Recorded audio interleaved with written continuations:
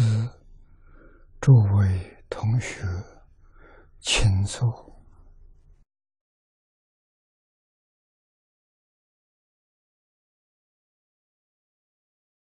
请大家跟我一起皈依三宝。阿舍利存念，我弟子妙音，时从今日乃至命存，皈依佛陀，两足众尊；皈依大摩，利欲众尊；皈依僧伽，诸众中尊。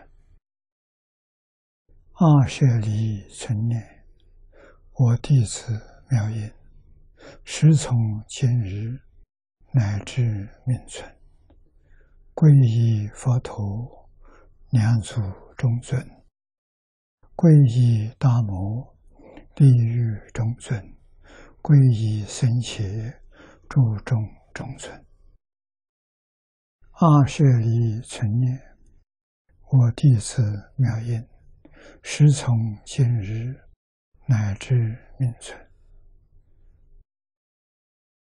皈依佛陀，两足中尊；皈依大摩，利欲中尊；皈依僧伽，诸众中尊。请看经文第九百零三页，啊，九百零三页。倒数第五行课题：日忧恼劝世，分两段。第一大段。共尊不起，这也分两个小段。第一段，情无我苦，这一段经文往下这几品。啊，我们是从三十二品。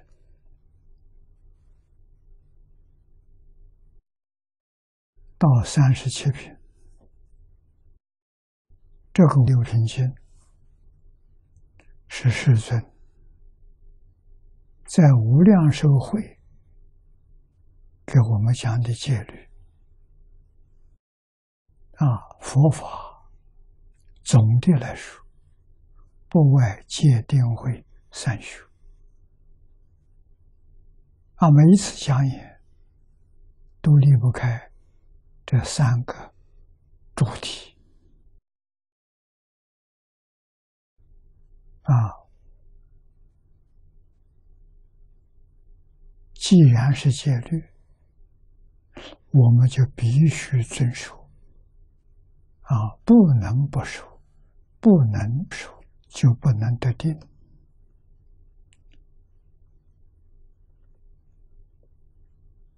我们随俗。浅而言之，得不到清净心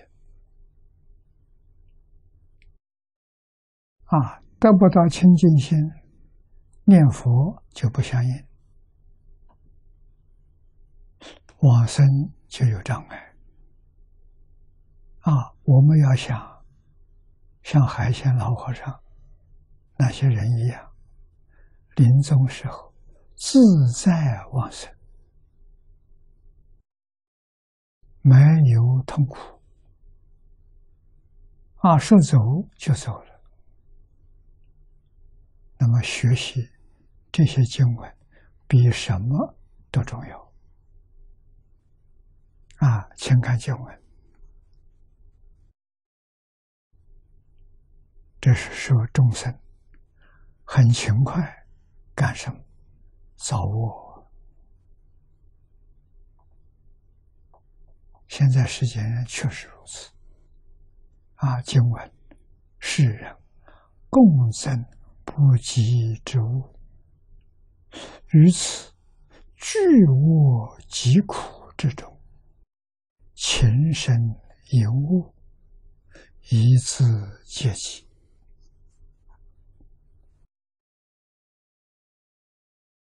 佛法里头提到，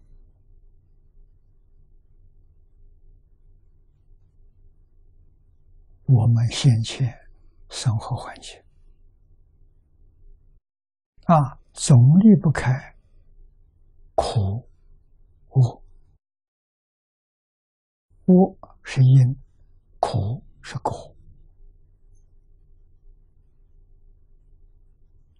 啊。这一段念老的注解，寿命这篇经一开端就说明，此土众生普皆有脑，全临眼底。啊，是不是真的？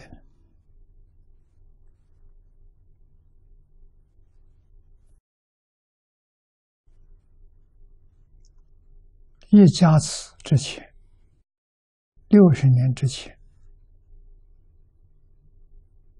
我们还很年轻，啊，二十几岁，没有想到苦，啊，虽然苦，好像日子还能过得去，每一天还是笑脸常开。没感觉到苦，这六十年，十年、十年做一个比较，那就是让我们真正感到苦，意识到苦，十年很明显的。那么到现在，现在不是十年，现在每一年比一年苦，我们看到了，我们感觉到了，一年比一年苦，什么原因？造的这个业，一年比一年重啊。恶业苦从哪里来的？恶业所感的，恶业是因，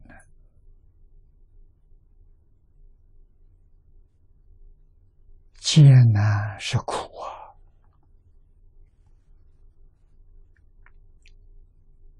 佛在这边第一句话就告诉我们：世间人。这个经在地球上讲的，就是地球人啊！地球人在干什么呢？大家都在争，拼命的在争，争什么呢？都不是重要的事情。我们常讲这鸡毛蒜皮的事情。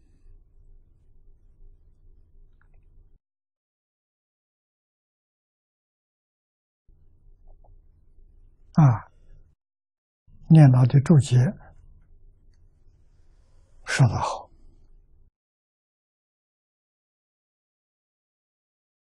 这第一句，指示人戒增无关紧要的事物，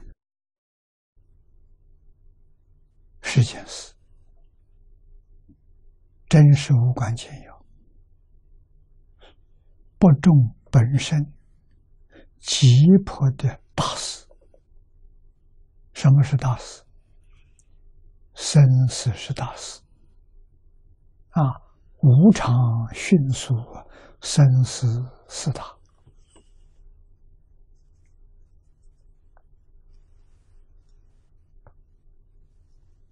年岁越大，感触越深。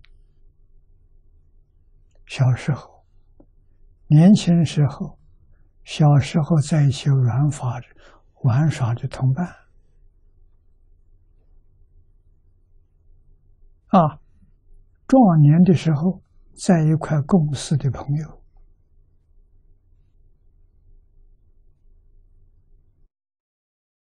大部分都不在了，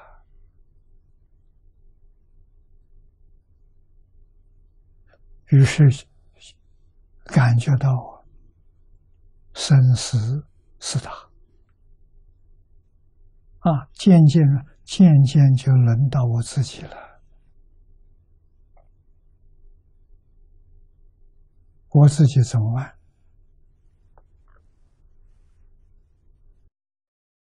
不学佛的人疏忽了，大意了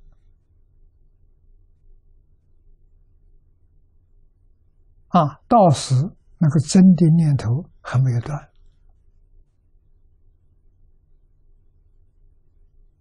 还没放下。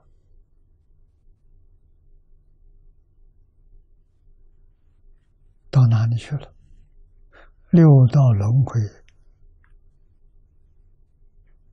是他的果报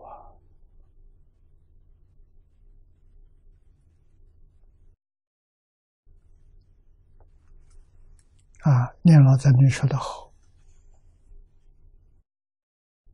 不重视本身急迫之大事。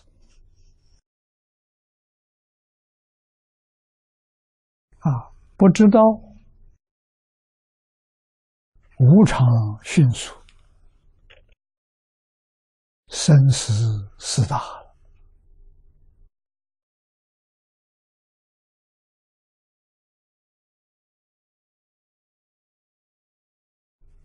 但谈名利，没有得到，想尽方法要得到。得到之后，又怕他丢掉，怕失掉，所以忧苦万端，无有出期。他没办法从这个苦痛苦里面呢跳出来。如会所说：“夫。”我有本末，事有还期，以办了一大事为你急先物啊。譬如人入大城中，必先觅安下处啊，先要找到一个今天晚上住的地方，而后啊再出去干事啊，等到。天黑的时候，有投身之地，啊，先把旅馆找好。这是一般旅行的人都知道。啊，旅行第一个把旅馆订好。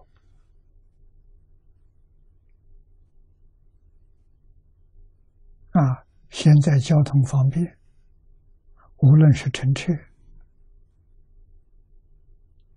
啊，坐船、飞机，啊，先把航班安排安好，然后再把晚上到达的时候旅馆订好，这办事就不急了。啊，事情办完了，可以好好休息。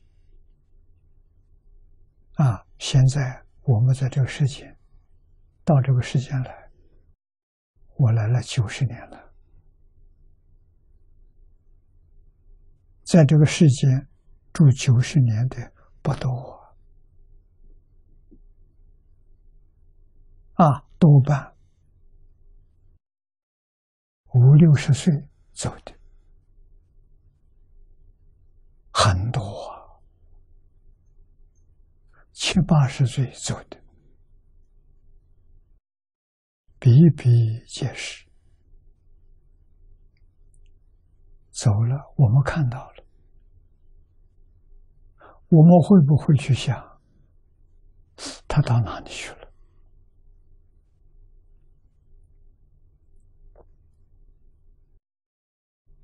真正学佛的人，猜想正是所谓八九不离十。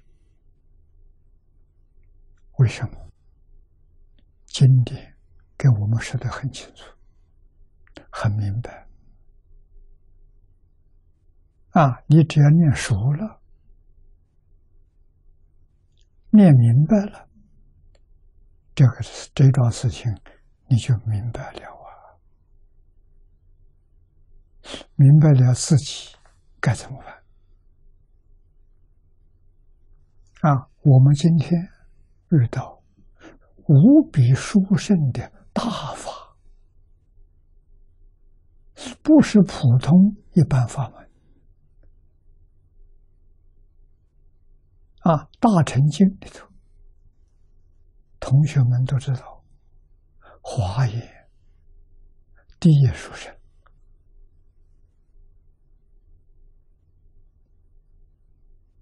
啊，华严。修学有困难，分量太大，没有老师。啊，法华也殊胜，都没有老师教，而有一个比法华华严还要殊胜的法门，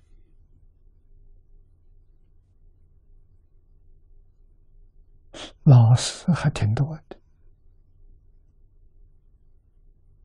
啊，不乏善知识，这就是净宗法门。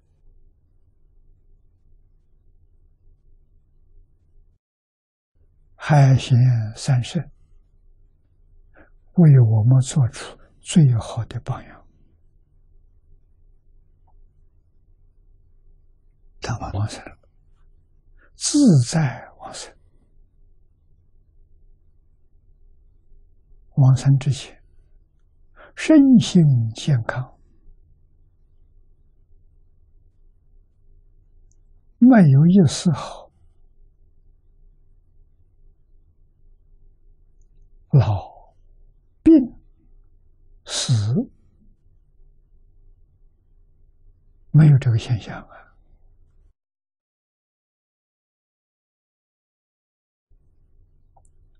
海鲜老和尚一百一十二岁，身体健康，一百一十二岁还上树爬树，去择柿子。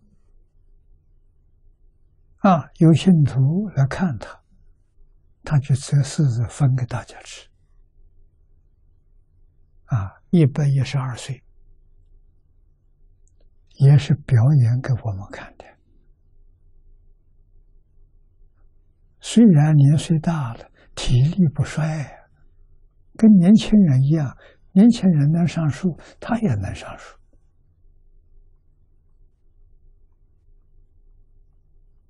啊，年轻人能工作，他也能工作。往生的那一天白天，他工作了一天。啊，在大菜园里面整地、除草、浇水，样样都干，从早干到晚。晚上，往生啊！没有说啊，我今天晚上往生，我现在可以休息一下，多念一点佛吧。他没有。其实，他的佛号不妨碍工作，工作不妨碍念佛，他佛号没间断。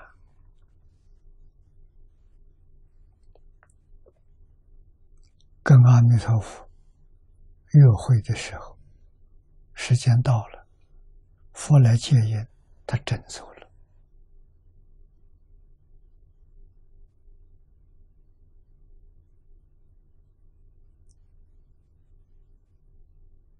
这桩事情距离我们眼前不太久，今年一六年，他是一三年一月走的。阿弥陀佛，跟他约定，说：“你看到有一本书，叫《若要佛法心，唯有生战胜》，阿弥陀佛就来接他往生。他天天盼望，他不认识字，他没念过书，所以不可能有人送书给他看。”不可能，怎么偏偏就有这回事情？有个人带了一本书去送给他，啊，也可能不是送给他，他自己看的，啊，被老和尚看见了，你带的有书，什么书？啊，他把书名一报，老和尚非常欢喜。阿弥陀佛给他约定的，一点都不假。真有人送这本书来，啊，穿袍大衣，捧在手上，请人给他照相。第三天就走了，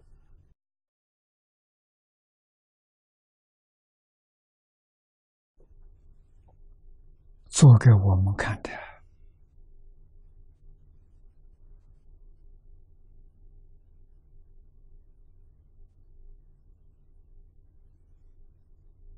我们学佛、念佛，不能输给他。他能自在往生，我也想自在往生。能不能做到？人人都能做到。为什么？你本来是佛。这真的不是假的，一切众生本来是佛，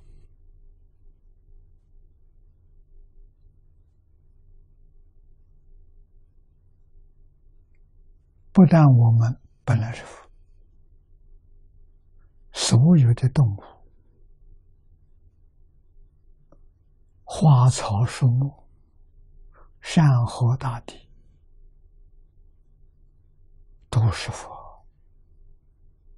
树有树神，花有花神，草木有草木神，山有山神，水有水神，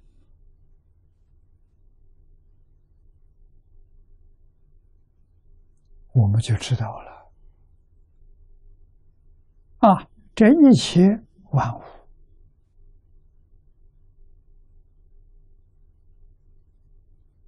同是一个根生的，这个根就是真心。谁的真心？自己的真心。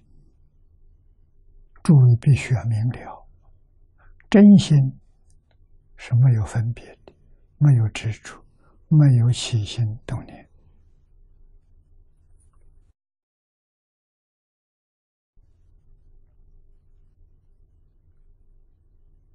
啊，这个世界，十法界，一真庄严，六道轮回，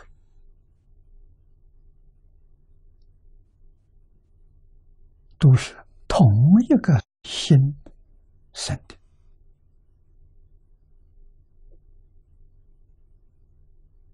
那么，这一切万事万物，跟我们什么关系？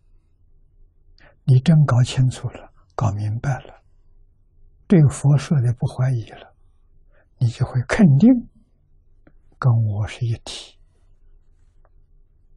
不是一家了，是一体。大乘经上常说：“十方三世佛，共同一法身。”啊。我们可以这么说法：十方三世，万事万物，共同一法身，一体。啊，学佛目的是什么？回归自信，就成佛了。啊，我们凡夫很久很久迷失了自信，变成十法界众生，变成六道轮回的众生。堕落成这个样子，那么现前居住的环境是一年不如一年，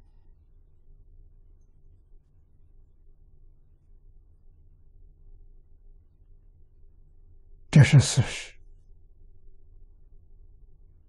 稍稍有一点知识的人都能觉察。谁能觉察，无可奈何，怎么办？我们是无比的幸运，遇到了佛法，遇到了经宗，遇到了无量寿经，啊，遇到了会集本，这个福报太大太大了。我们所遇到的，你要都搞清楚、搞明白了，这个能量可以保证我们往生极乐去，就在这一生圆满成就。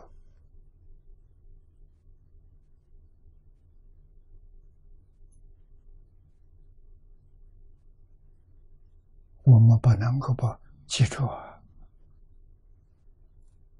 不能不认真去干呐！信、愿、持名，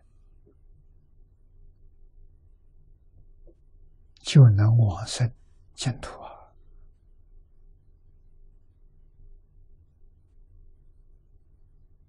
啊，真心，没有丝毫怀疑，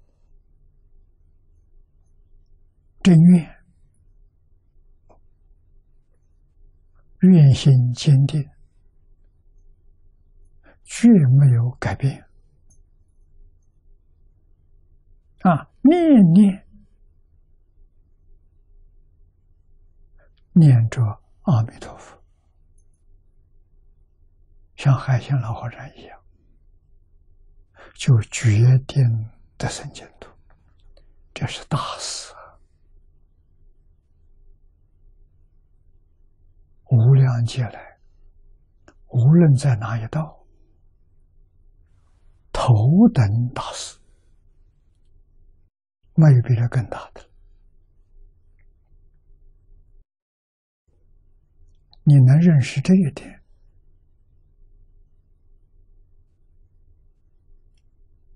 你的智慧、福报。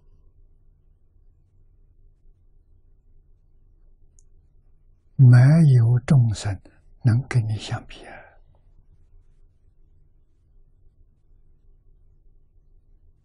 啊！一生必定圆满成就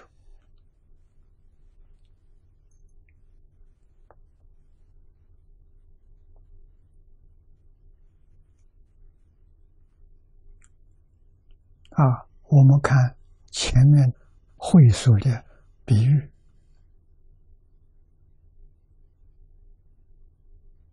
啊，比喻大限到来，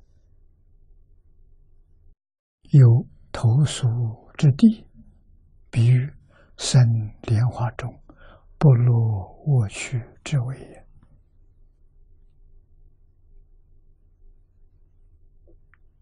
啊，大限到来，生莲花中，不落卧道。然助人还于火急之死，走不及之经验，大命将尽，虽回何矣？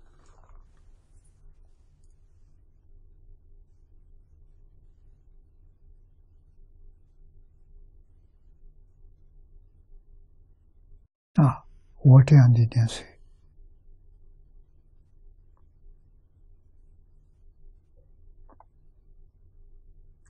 天天都可以往生了。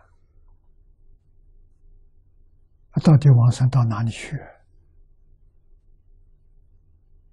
这个不能不知道啊！要再搞轮回，那就大错特错脱离轮回，生十法界啊，四生法界不究竟的，不圆满的。从四生法界去修，声闻修成圆觉，圆觉修成菩萨，菩萨修成佛，佛超越十八界，这个世界要论劫数算了。太长了，很辛苦啊！啊，那是什么？不知道有这个方法，不知道有这样的大道啊！这个确实真是高速公路啊！我们找到了，不要费很长的时间。就能达到目的地啊！所以这是先前火急之死。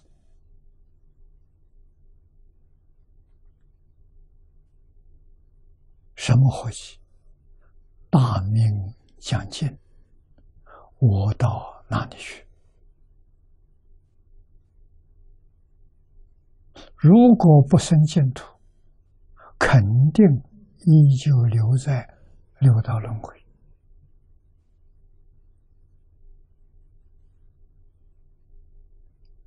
能不畏惧吗？前面给大家报告的宋朝盈科法师。他觉悟了，真觉悟了。若不往生，决定堕地狱。想到地狱苦，这个机会抓住了。啊，劝他的人没有抓住机会，他抓住机会。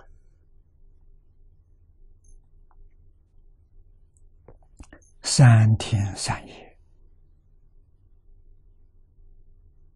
不眠不吃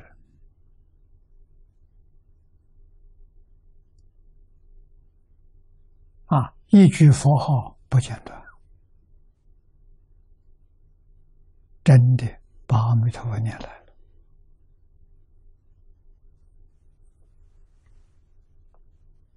佛慈悲。我们起心动念，他都知道。那我们为什么见不到？他为什么能见到？他的心恳切，没有杂念，所以三天把佛念了。我们的心杂乱，妄想很多，杂念很多。啊，对于往生极乐世界，半信半疑，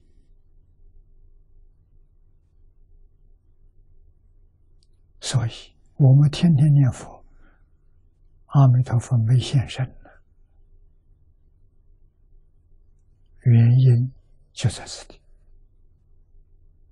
过失在我们自己，佛没过失，有感他就有。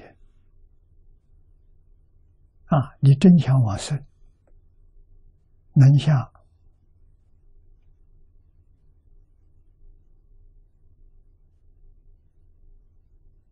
海鲜一样。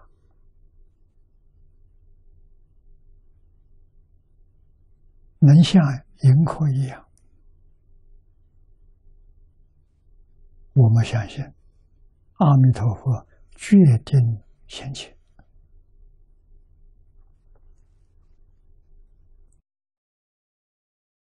我们再看。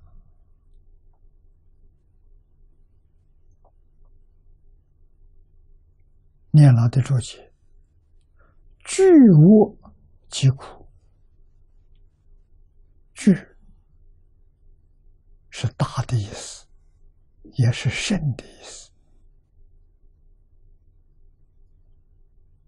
这是我无品里头说，为此无我世界最为具苦啊。”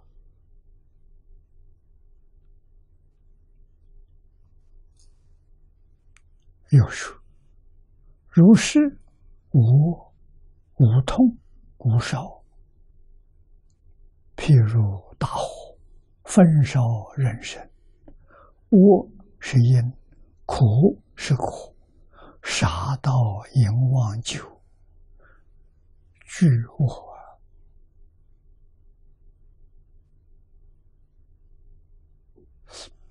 谁知道？”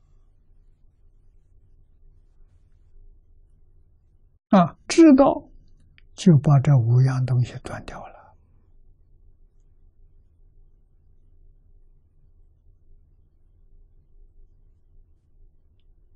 佛教我们初学啊，初学佛，师傅教你什么？三归五戒。三归五戒能帮助你离苦得乐，你要真知道。佛给我们说出，真正知道不容易。为什么？真正知道他就做到，他还没有做到啊，他不是真正知道。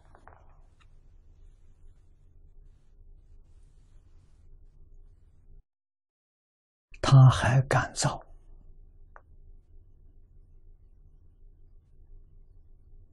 他还没有畏惧啊，比盈空法师差远了。盈空法师出家人，破戒比丘。杀到阎王就他干了，干的时候不晓得，以后有人告诉他，这要堕地狱，他相信，堕地狱太可怕了，赶紧回头，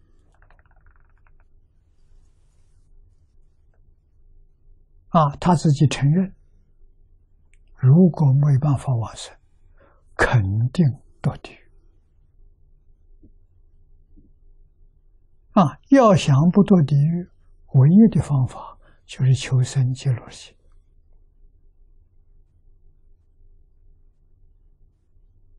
完全要依靠阿弥陀佛才能成就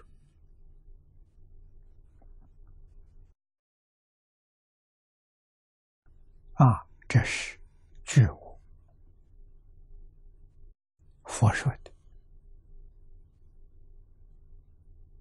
释迦佛说的，阿弥陀佛说的，十方三世一切诸佛都是这个说法。造我，感我苦，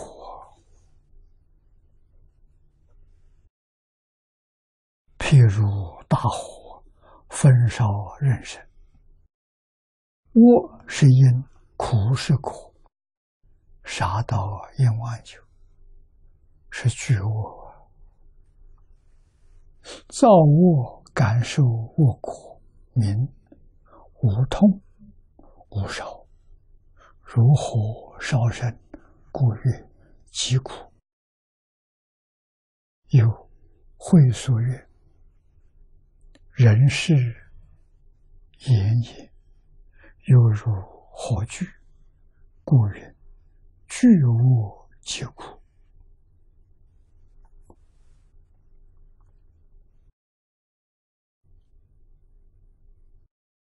这个地方是把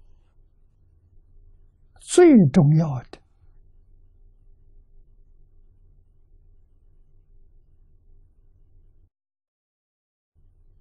佛说出来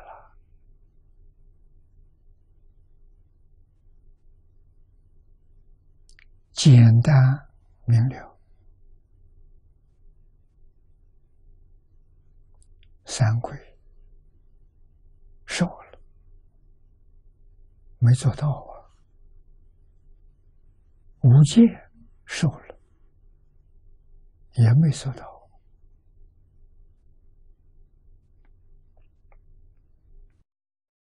三归无戒，在家居士都可以受，都得要受。真能依教奉行，就能得清净心，就能开慧、开智慧，就能保证你往生净土。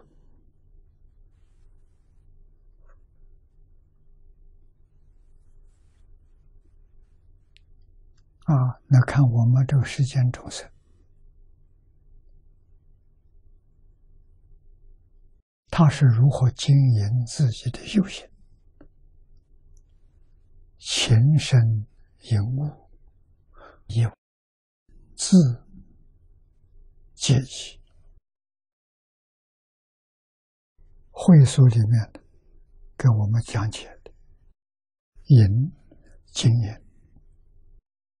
专利于事于物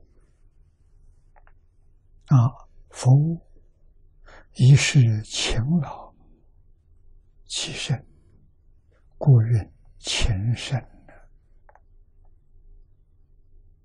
戒是相足，以物扰足为戒，又戒者共戒。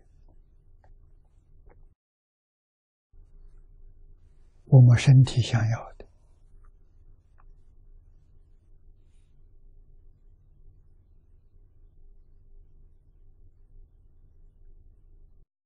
几个人不求物质的供养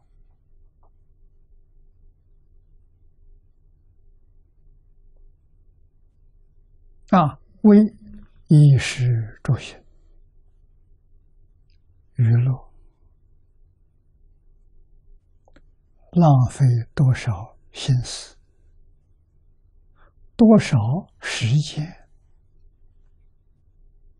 多少岁月空过了啊！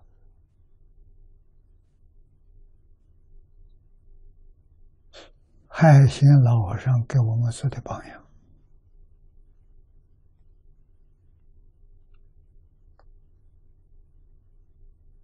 他住在河南南阳，河南黄河之南。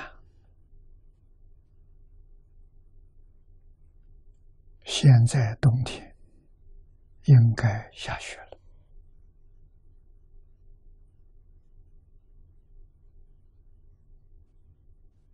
啊！他的衣服只是。春夏秋冬四季，几件衣服而已啊！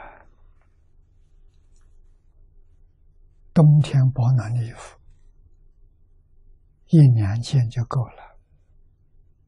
夏天天热，换洗应该三套就够了啊！够欢喜了，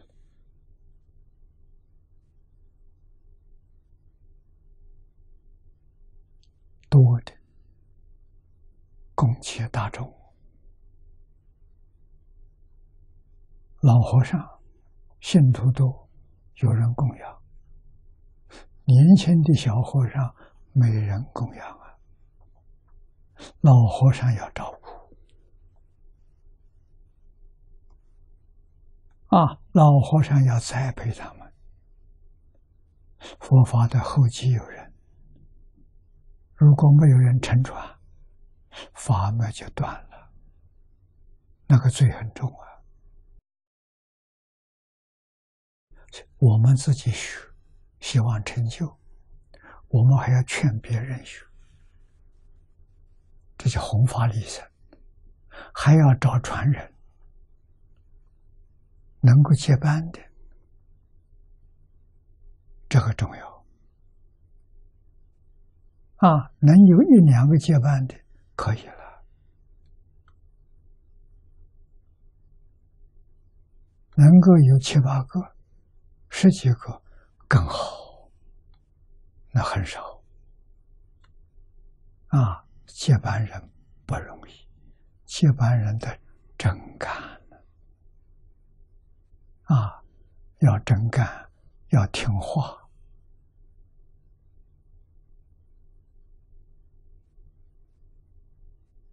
要喜欢学习。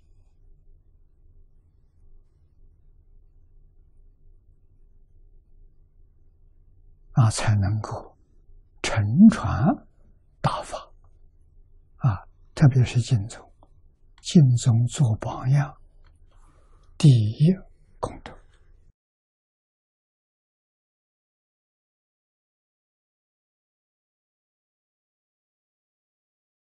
啊，即多也，故知今以为啊，这两句话。情深隐悟，以自解济；勤劳其身，经营事物，求能自给自足，以度此生。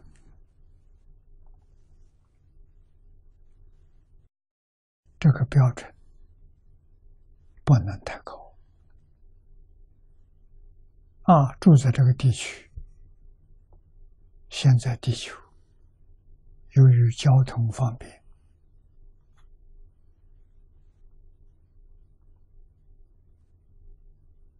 距离就缩短了。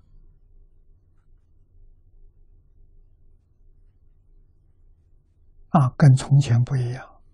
从前这个寺庙、庵堂，尤其是山里、旷野、小寺庙。真的是非常亲近啊！生活简单，需要不多，就能维持。现在交通便捷，我们的生活空间大了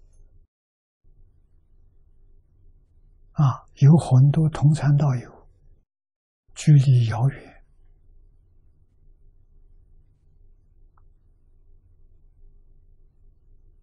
啊，大家在一起参学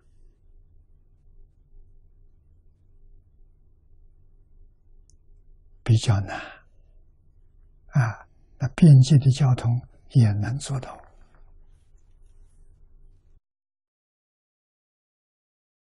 啊。一个一个法师经营几个道场，在现在是很普通的事。啊，经营几个道场，如果说是亚洲有，欧洲有，啊，美洲也有，一年要环球走几趟啊？至少要一两趟。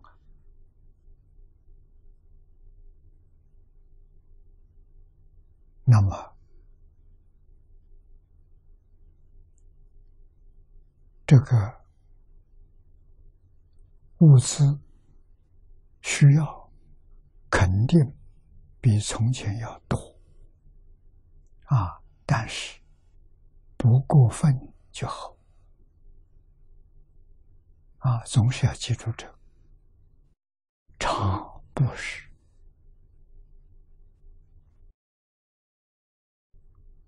会所说：“四农共商，为皆自身，故曰以自节己。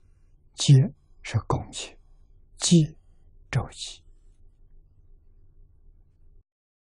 有对自己，有对别人。”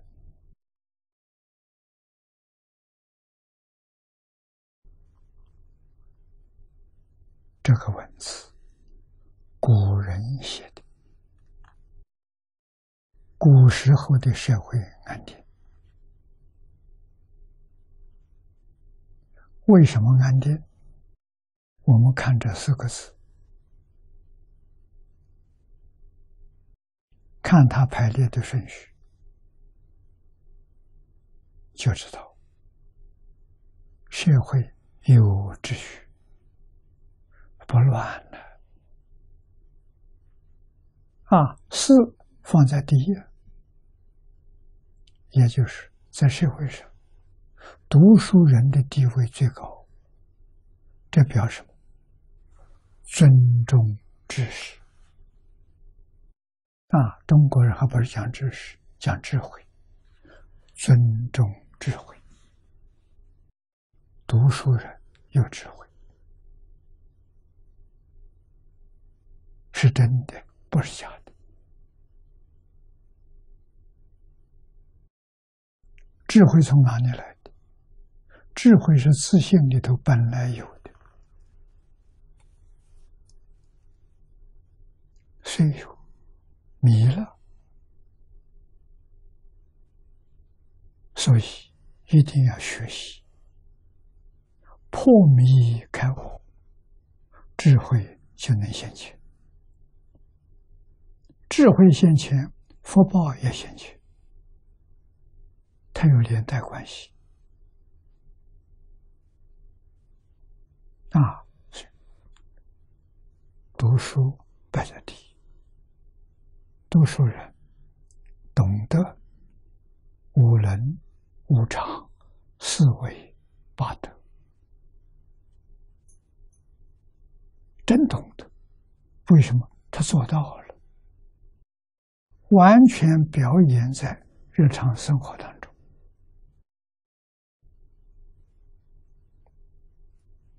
居家、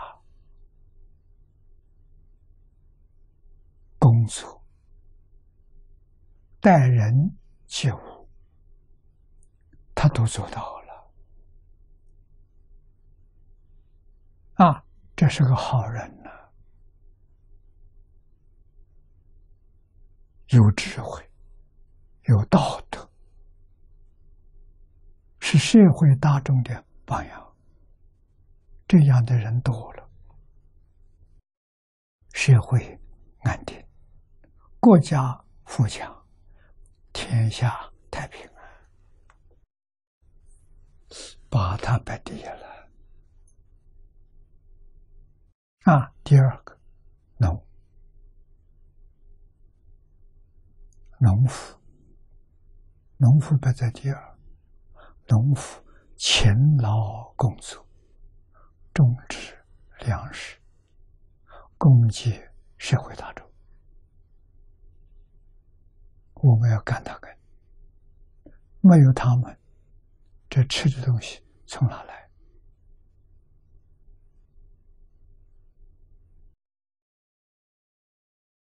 每一餐吃饭。都应该向回向给他们的感恩的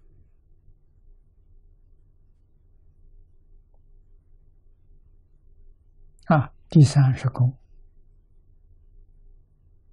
功在浓厚的，食比工作更重要啊！食物缺乏。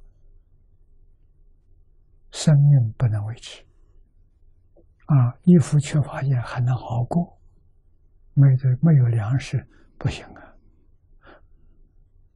农比工重要啊，工是次要啊，最后是商，商是贩卖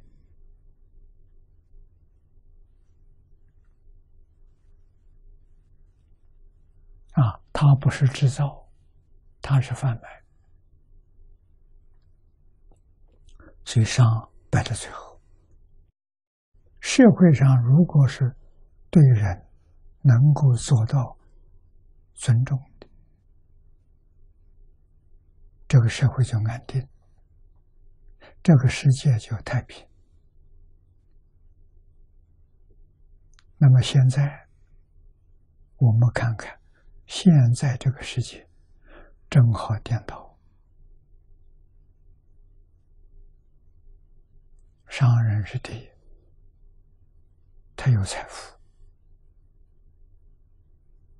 工人是第二，农民是第三，念书的人最不值钱，摆在最后。所以，现在念书的人也变成商人了，办学、办补习班、学店。啊，收很高的学费，不交学费就不教你。现在变成这样古时候，民国初年、满清末年，不是这样，教书。不能收学费，收学费就变成开店了。啊，所以从前读书的机会多，啊，只要你能够读书，老师都欢喜。啊，家清清寒不收学费。家贫穷，日子不过不去，老师还要拿钱来帮助学生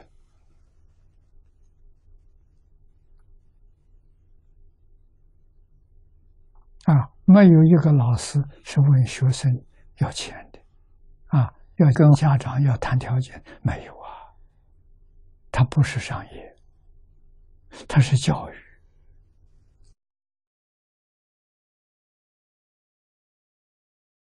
啊，一直教育你成人，然后参加国家考试，啊，考试及格了，录取了，那你的生活就有保障了，国家给你。啊，你看我们读了凡四训，袁了凡先生小时候考中秀才。啊，十五岁以后考中秀才，国家就养他，每年给他九十多担稻米。当然他吃不完，吃不完他可以卖钱来养家。啊，所以读书人可以一辈子读书。生活是比较清苦，国家养的这批人是社会安定的影响人，他们是无名英雄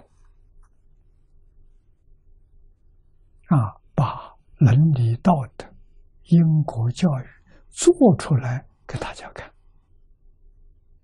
啊！所以，多数人对社会的贡献很大。世世代代的人才从哪来的？都是这些人教出来的。那现在师道没有了，孝道没有了，私道没有了，社会乱了，乱到今天，让我们感觉到非常严重。这不是小乱，是大乱。这个乱象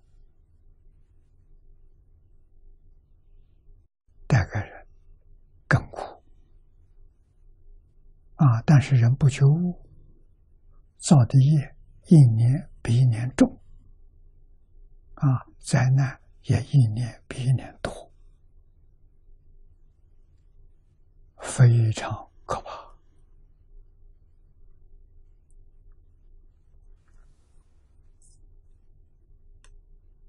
啊，我们要反过来，前身引物，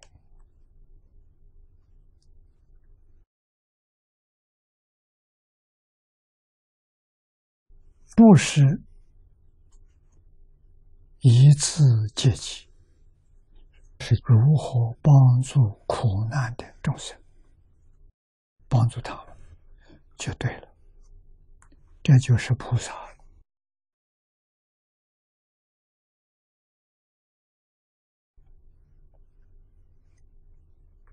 这边讲的是因果。我们再看底下一段：起惑妄作，这是讲因。尊卑、贫富、少长、男女、累念积虑、未心走失，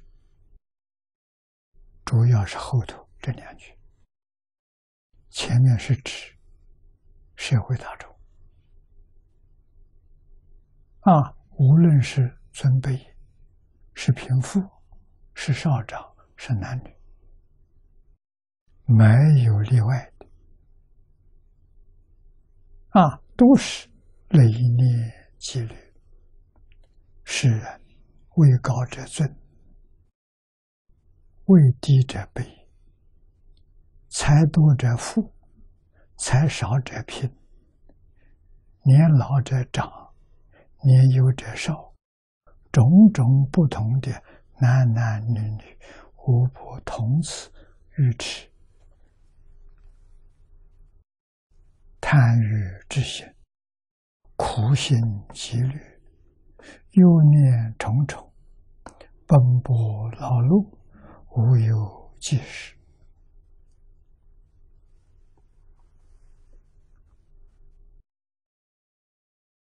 这把我们先前状况都写出来了，好像今天的社会，佛菩萨。都看到了，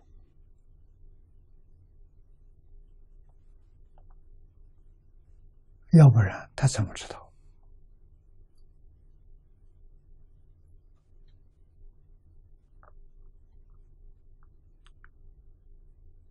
啊，这么复杂的因果，怎么产生？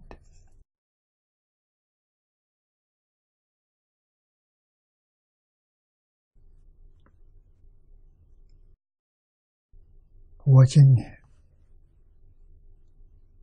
参加联合国教科文组织的和平会议，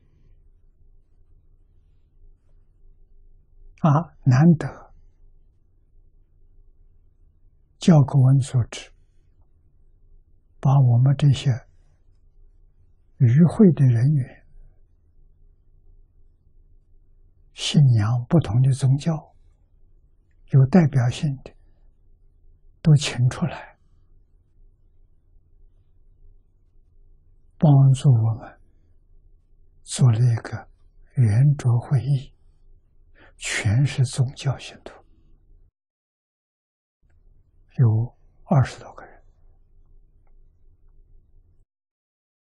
我很感谢教科文组织的安排。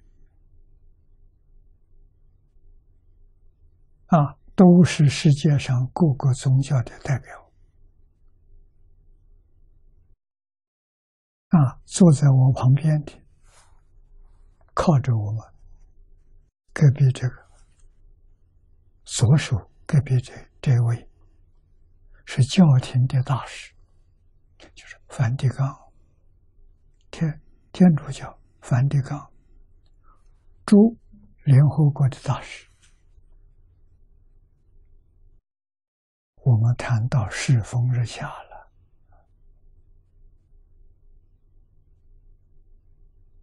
谈到这问题，都感到很忧虑。怎么会有这种情形？啊，这教廷大师说了一句话，我很佩服。他告诉大家，今天社会所以变成这样。真正的原因只有一个，就是愚痴。啊，它不叫愚痴，叫无知，就是佛法的愚痴、贪嗔痴。讲得好啊！他要有智慧，不会做这些坏事。就是无知，真的是无知，所以随着自己的欲望，随着自己的好恶，他敢违背戒律，他敢违背经典，啊，以。宗教的身份，取得名闻利养，或者是取得丰厚的物质、精神的享受，讲得好。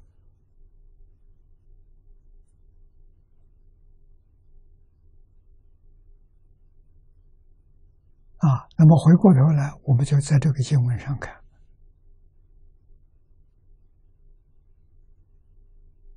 啊，古时候人的有智慧啊，不迷惑颠倒啊，啊，为什么？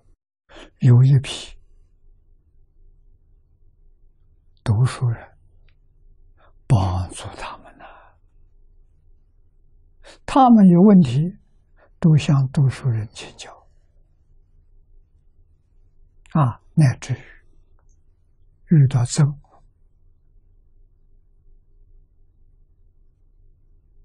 斗争的时候，也请一位读书人给我们评评理。读书人给他们一讲一劝，和好如初，问题就解决了。啊，他不需要检查，不需要司法机关，不需要。教书的这些秀才们，他们就把问题解决了，多省事。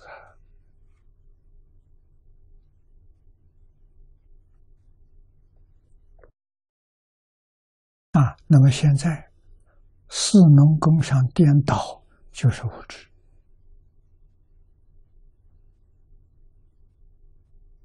要有智，不是这个排列法，士农工商是对的，商工农事是错误的。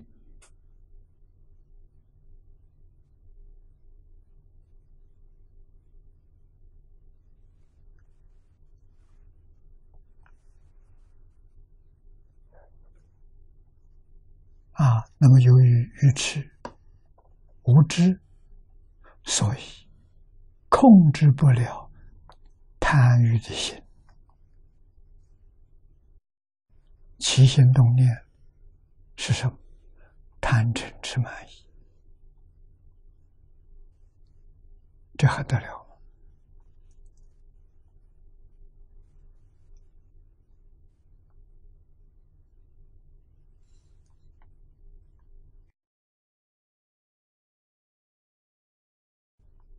啊，所以说这些人，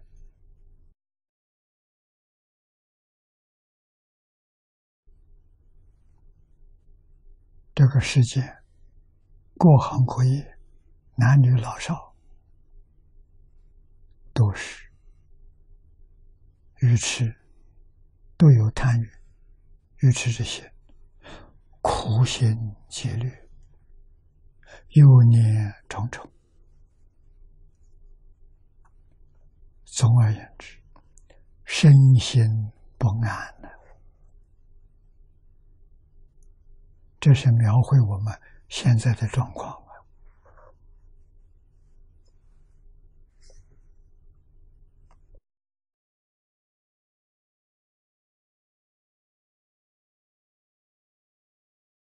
无有意识，没有中断的奔波劳碌。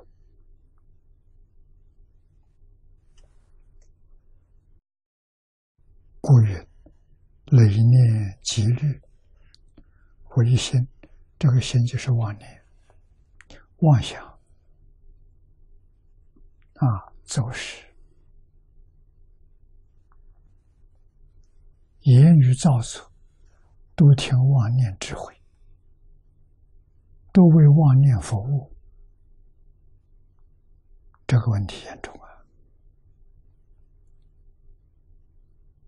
以及十月，雷念与既往，积虑与未来，过远，雷念积虑，常常为了欲望所驱使，嘈杂奔波，所以叫。为心做事，啊，这个心就是妄想，啊，意在思意过去是累念，想过去；忧虑是想未来，这叫积虑。故此心念会有暗示。因为心有所欲，身必随之。例如，鱼钩爱物，你喜欢心爱的东西，则不顾拥挤、杂乱、奔波、排队，过于危心走失啊！这是年老看着现在。购物的商场啊，大家要排队，这是时候看到的啊，跟经上就对上号了啊。这是说，基于心念之中，居士财物，故名累念积虑。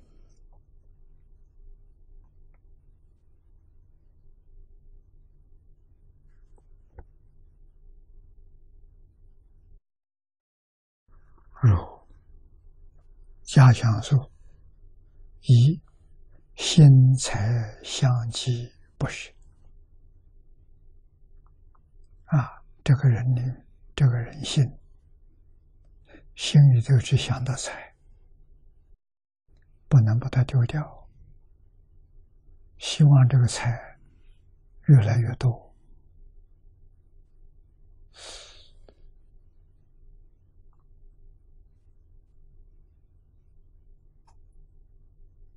这个现象，今天在这个地球上非常普遍。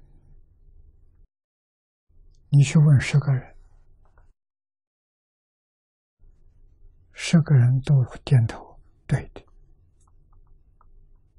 我就是这个心，我就干这个事。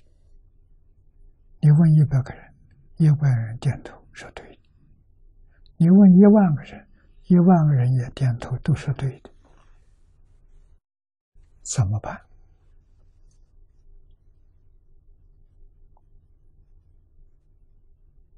现在社会，我们说一年不如一年，就是说的这个现象。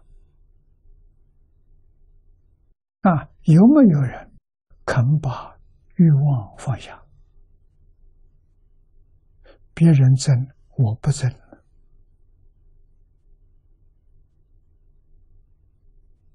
我脱离这个队伍，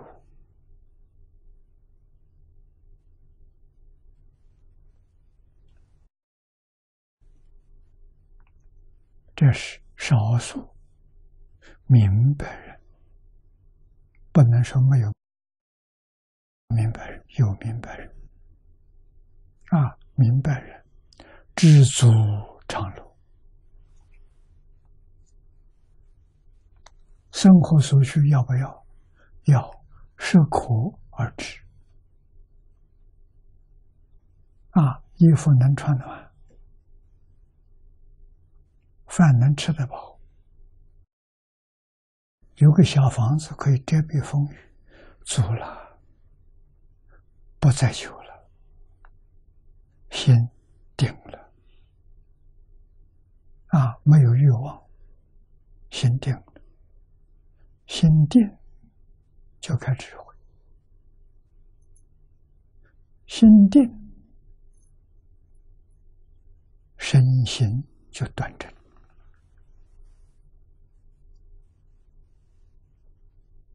啊，佛陀讲给我们的三规五戒，自然能够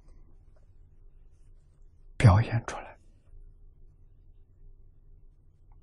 啊，为广大社会大众做一个学佛的好榜样。啊，海贤老和尚生活在世间，就是给我们表法。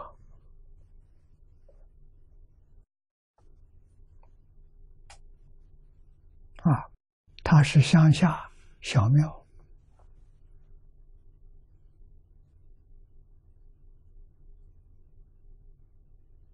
早年是草盖的，没有瓦屋，啊，就烧茅棚，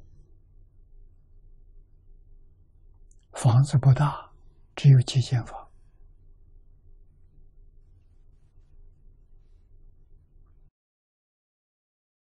庙里只住五个人，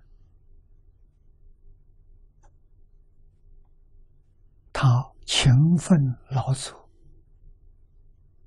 种粮食、种菜、种水果树，每一年收成都很不错。啊，周边靠他救济的上万人。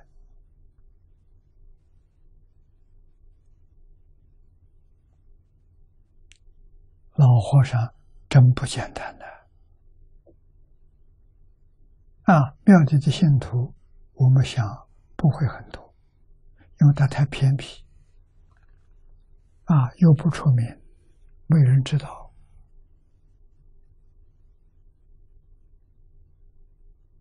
啊，人口也不多，带头老祖。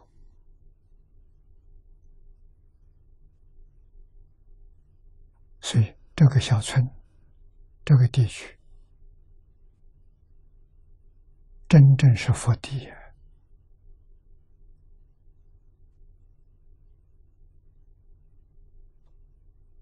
老和尚用身教啊，不是言教啊，身教啊，做榜样给大家看，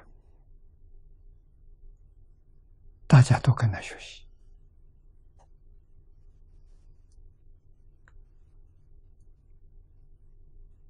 啊，他老人家一往生，这个地方渐渐出名了。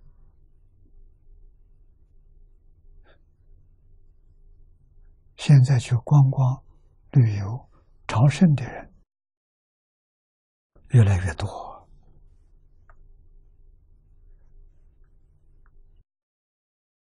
啊！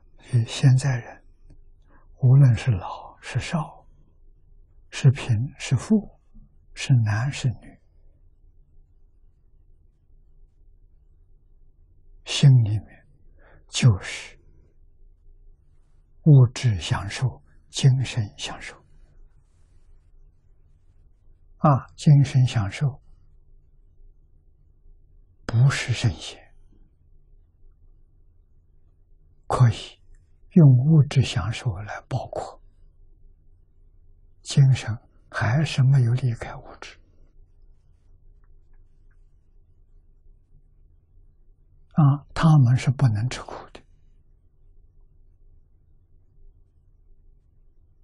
是不愿意操劳的，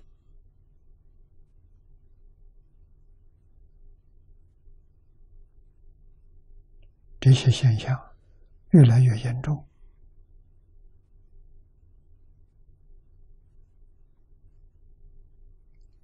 因不好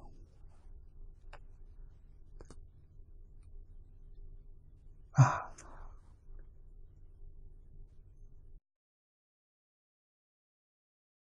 注解里头他说的好，《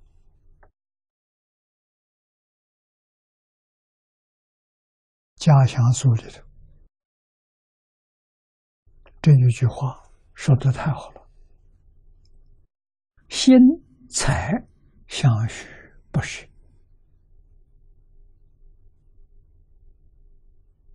来解释了一念戒律，以请求无灵。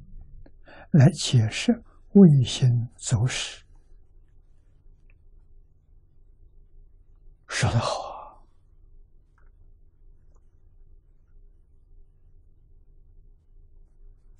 念老师，盖为基于心念之中，具是财物，故累念积虑，勤于求得，故身心不安。啊，这叫卫星走势。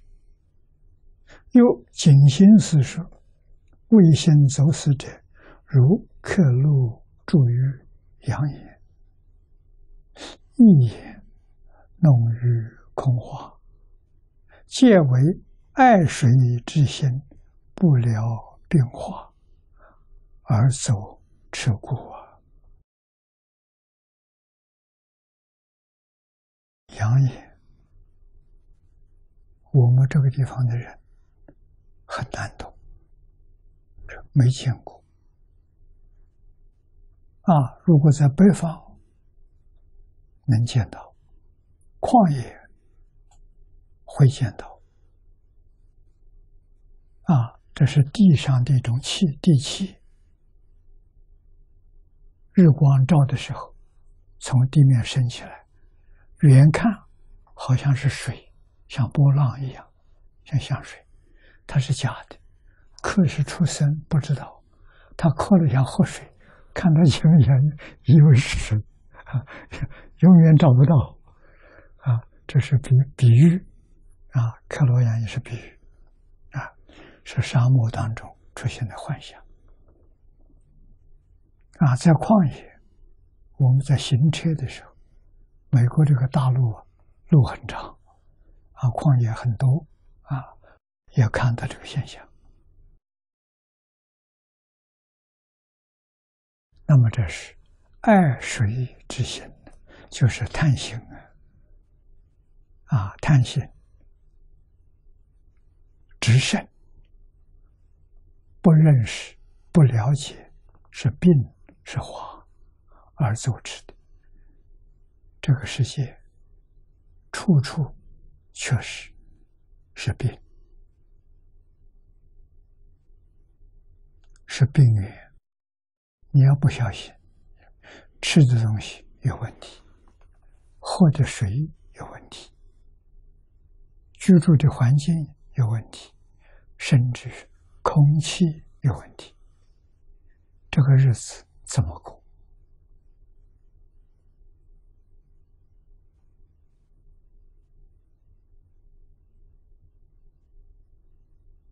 我们不能不知。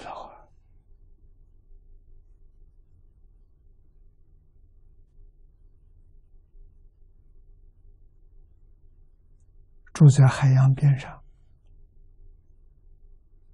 有一些很偏僻的地方，正好像世外桃源，但是又担心海水要上升，怎么办？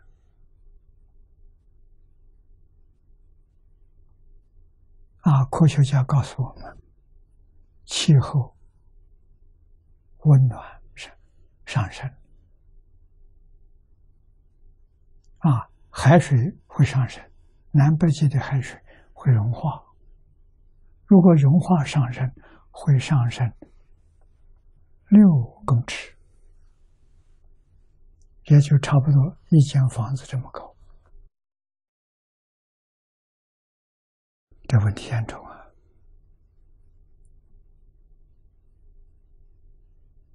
啊！海边上最怕的是海啸，海啸是没法子避免的。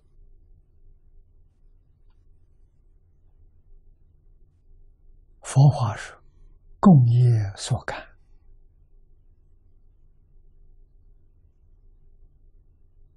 啊，要化解灾难，佛法有方法。断恶修善，把我们不好的念头、贪嗔痴慢疑的念头放下。啊，我劝学佛的同学，特别是年轻的同学，我劝他们真正要能契入佛的境界。要学释迦牟尼佛，放下贪嗔痴慢疑，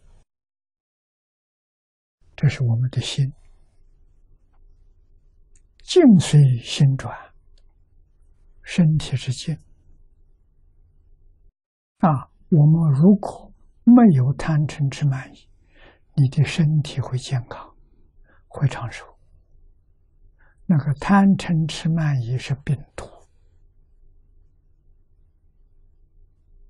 啊，贪吃、贪喝，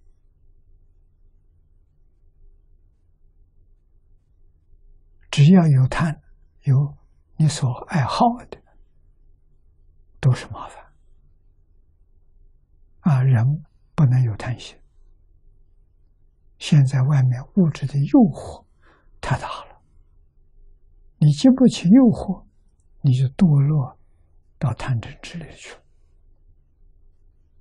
这些日子就不好过了啊！内要学贪嗔痴慢疑，对于圣人的遗教要相信，不能怀疑。怀疑你就把缘丢掉了。你要多学，向古人学，古人留下来都是最好的东西。啊，大彻大悟、明心见性，他们留下的叫做经。经的标准不是普通标准，是彻悟，所以佛所说的真经。啊，中国圣人所说的真经。啊，中国自己有五经，有十三经，决定。要相信啊！决定要向他学习，你就对了啊！那是几千年累积的智慧、理念、方法、经验，现在找不到啊！啊，以古圣先贤留下来的典籍。做教科书，认真学习，啊，这就是古德对我们的加倍。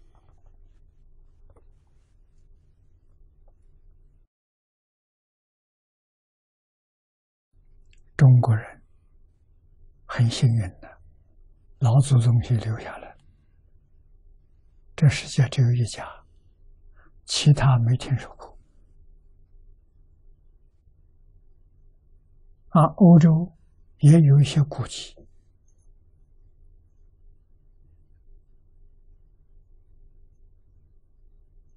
一千年、两千年留下东西，怎么样的？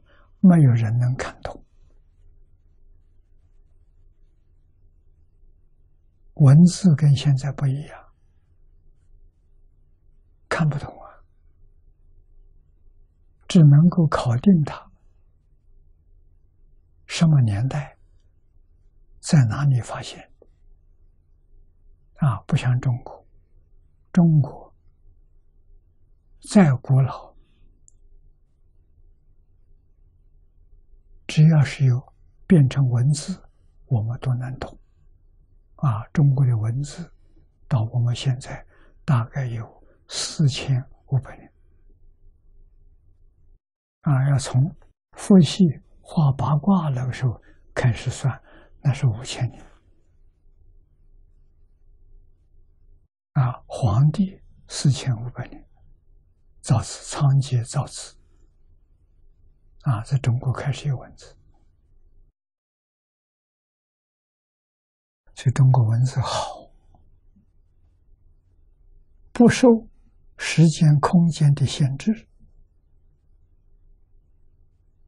几千年前的人写的书，现在看得懂；传到以后，千年万年，后人也能看得懂。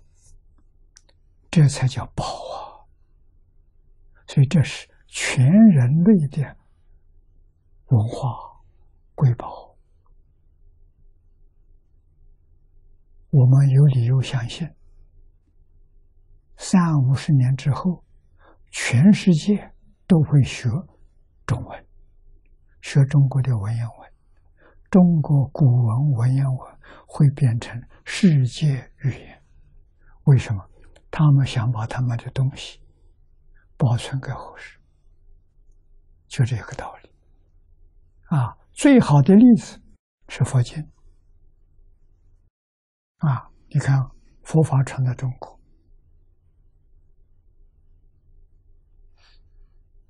把佛法翻成中文，印度人知道了，有这么好的东西。把所有大乘经典全部都详尽方法送到中国来，翻成中文之后，这个经就可以流传千年万世，人看得懂。啊，如果是梵文写的，原书是梵文写的，梵文写的现在几个人能看懂？一个都没有了。啊，这就是古印度这些高僧大德看重中国文字，送到中国来翻成中国的文言。我们也有理由相信，现在全世界许多国家有他自己的文字，通通是拼音的，也跟。梵文一样有这问题，以后怎么办？学梵文，通通翻成中文。所以中国文字好啊！欧洲学汉学家没有一个不赞叹，啊，没有人不主张去学中国汉文。为什么？你学了中国汉文。你有能力读《四库全书》，《四库全书》至少是三千年，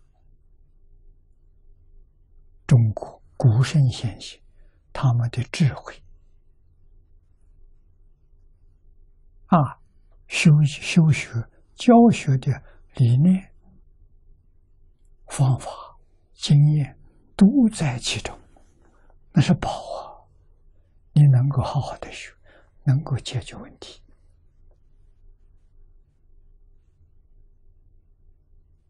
啊！这么大的这个丛书，在世界上找不到第二家。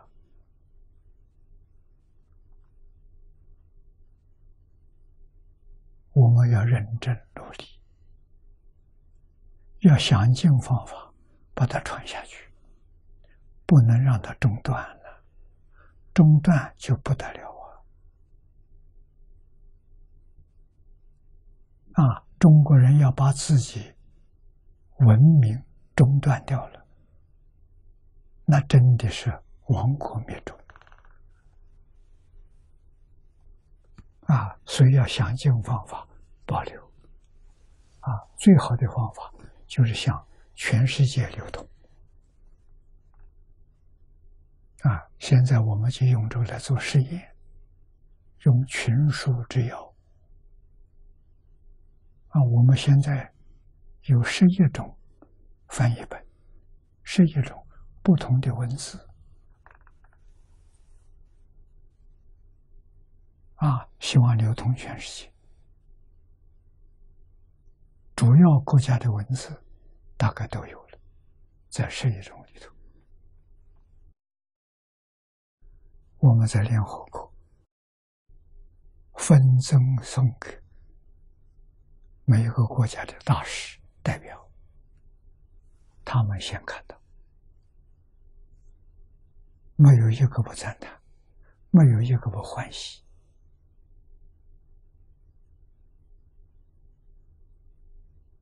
这是好像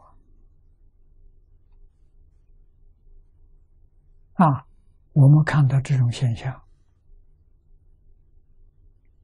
信心增长了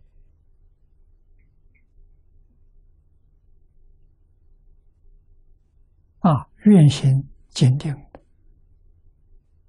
我们没有怀疑，一往直前，希望把文言文。介绍给全世界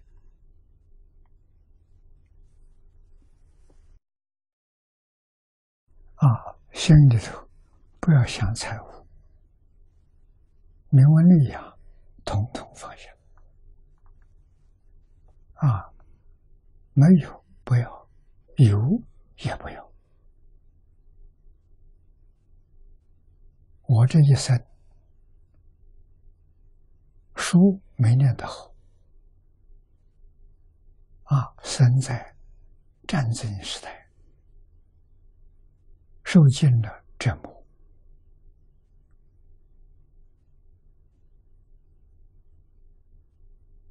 十四岁就自己照顾自己，离开家了。啊，交不起学费，没办法再继续读书，找了个小工作。十四岁就要自己养活自己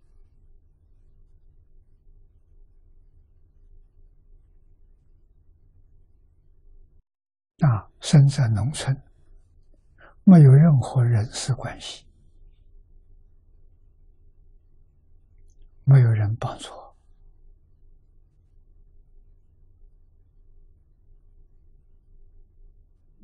出家之后，语言不足。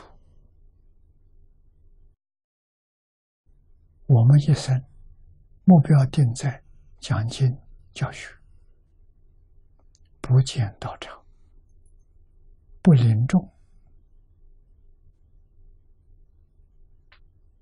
啊！所以我一生做到三不管：不管人，不管事。不管钱，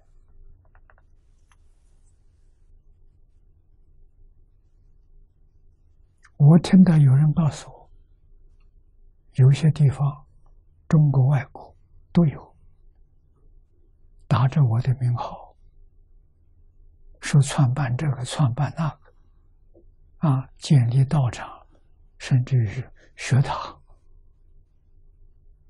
啊，诸位同学要知道。那都是假的，我自己没有道场，我怎么会帮助别人建道场？哪有这种道理？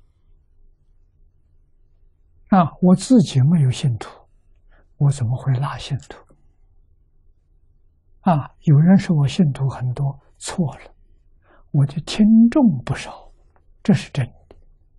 啊，因为我讲经用电视十几年了，零三年开始，十几年，用网络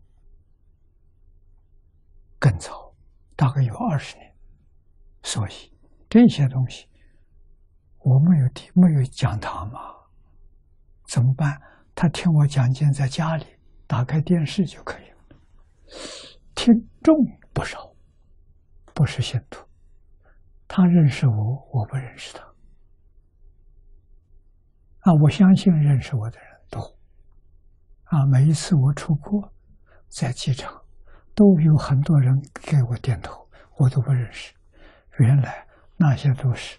网络上的听众啊，所以诸位要晓得了解事实真相啊！我也不要钱，过去大家的供养，我都拿来印经，印经摆在第一啊。现在印经数量是很大了，按年中国。大丛书《四库全书》，《四库全书》我买了一百套，一百一十二套，《四库会要》买了三百三十多套，啊，每斤差不多两千万元，干这个干掉了，啊，现在我也不买书了，啊，但是我跟英国。合作办这个汉学院，古汉语学院，啊，跟一般大学里面中文系不一样。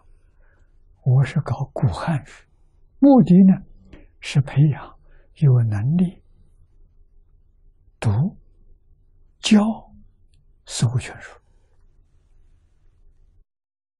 那《四库全书》的精华篇是唐太宗编的《全书之要》。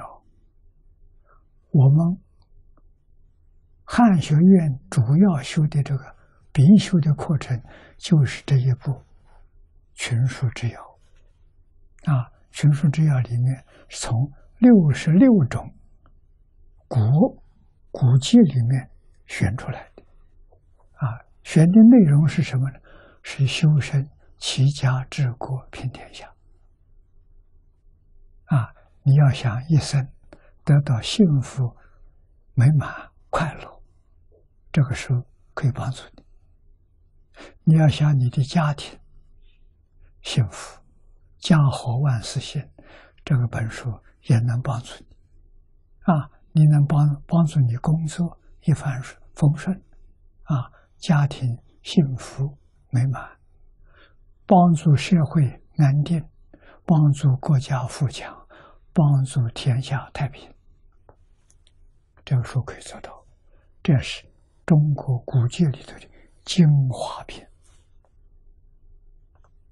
我们群书只要以这个为中心啊，那将来培训这些人，我是全部五十个人，五十个名额，都是这个用奖学金帮助他啊，奖学金。包括学费，包括生活费用，啊，我们实验办五年到十年，啊，至少是五年，把这批学生，我只要三十到五十个人，他们将来都是汉学最好的老师，这样就有传人了。不会中断了，啊！他们有能力在大学中文系里面教书，啊！他们毕业之后有学位，啊，威尔斯大学有博士学位，世界上都承认啊，所以他们就有能力去教大学中文系啊。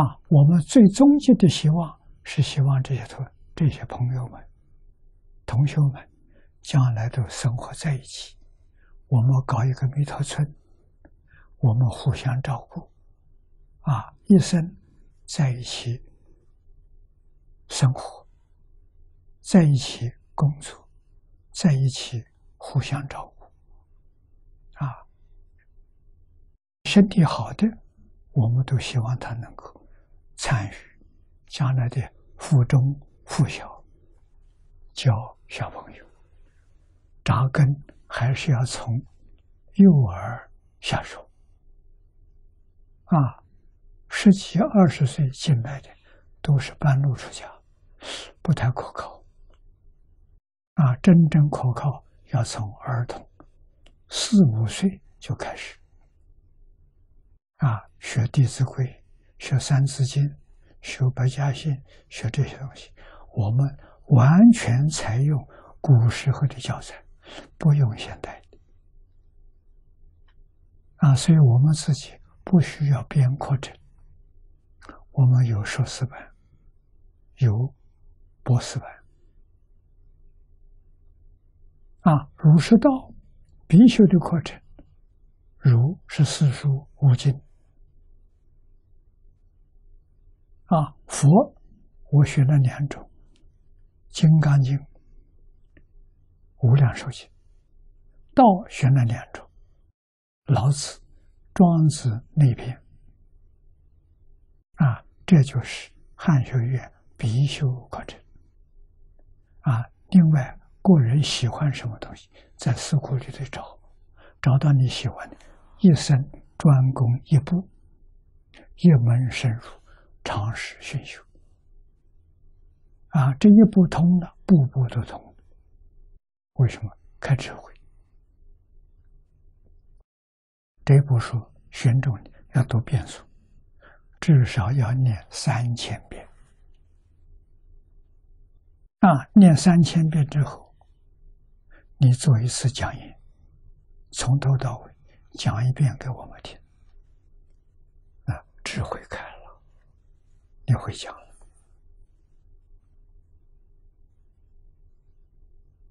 啊，三千遍是修定，把你的妄想、杂念、分别执着，统统打掉，就是用读书的方法。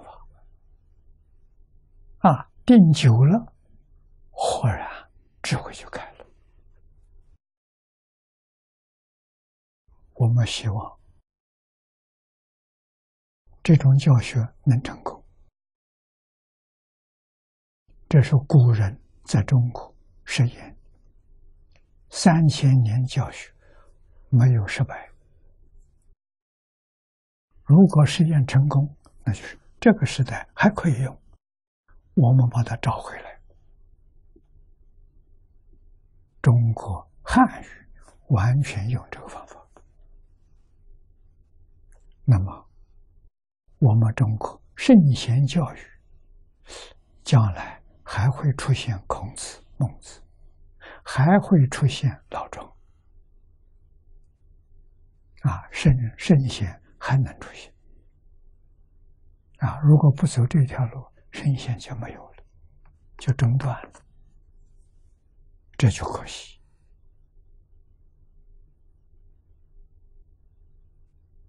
啊！前清还有圣贤，民国没有了。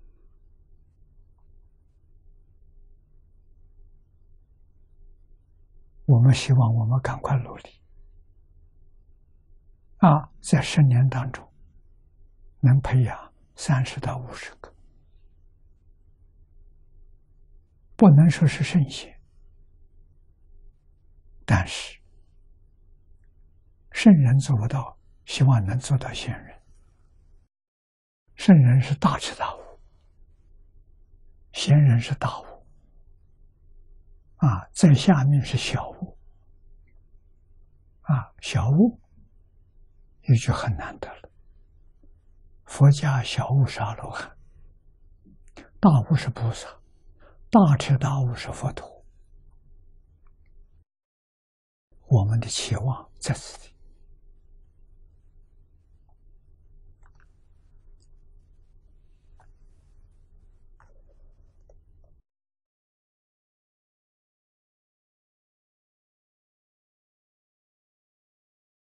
那么这边的末会的一段，